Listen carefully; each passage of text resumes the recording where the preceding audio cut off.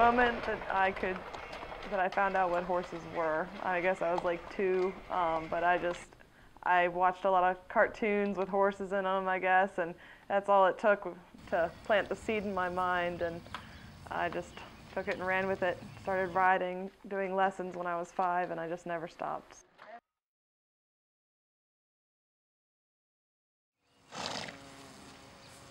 A 91 acre horse boarding facility, Callithea Farm is a true gem in the urban development of Potomac, Maryland.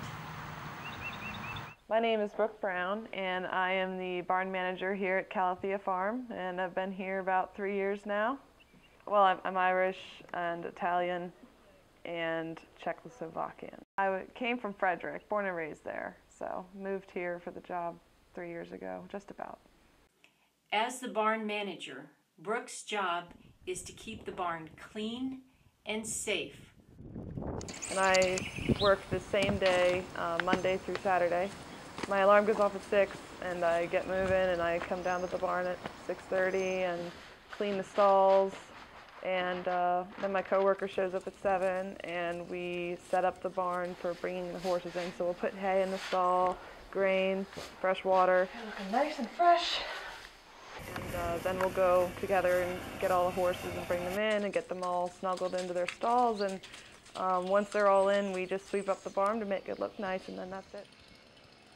I had worked at so many barns um, as a barn manager that it really burnt me out because it was just, I went through like a string of really bad barns. I was just jumping from frying pan into the fire, into the pits of hell. It was just my I just kept picking the worst barns to work at because I didn't really know any people then. I didn't know, you know, what I know now. To do her job, Brooke needs to know the personalities of each horse. When they are hungry,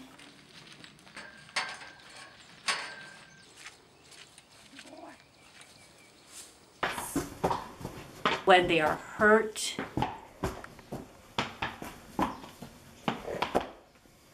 Hi, buddy. You gonna let me catch you? Or when they are sick. Big boy.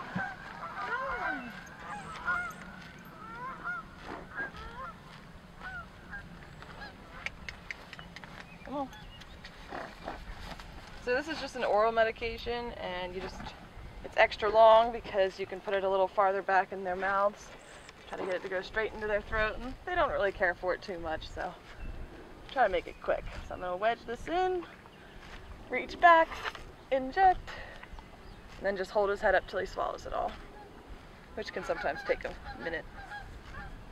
Sometimes shake their head make them want to swallow it. I've always been a daddy's girl and my dad's just about he's just tough as nails, tough as nails, and really doesn't show a whole lot of weakness or emotion or anything like that. And I think I just grew up to have thick skin and a lot of drive, just like him. Stay back.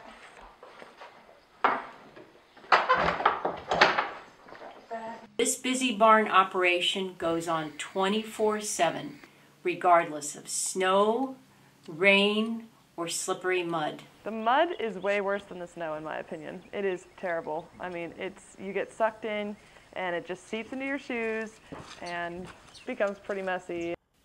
Although Brooke hates the mud, she finds beauty in the barn. When there's no one here, and I can hear nothing but silence, and um, like usually late at night when you can't hear the cars, even though the road's pretty far. Uh, like I like to sit on my porch at like 1 a.m it's a clear sky, and there's it's just like dead quiet, and I can sometimes hear the C&O Canal water, mm-hmm. and it's just like just to sit back. That's beautiful to me, and uh, especially when the moon's bright and you can see the horses in the mm-hmm. fields from the moonlight. That's beautiful.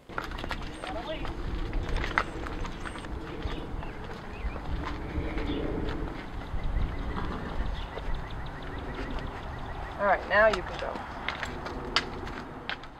This is Margaret Colaianni reporting.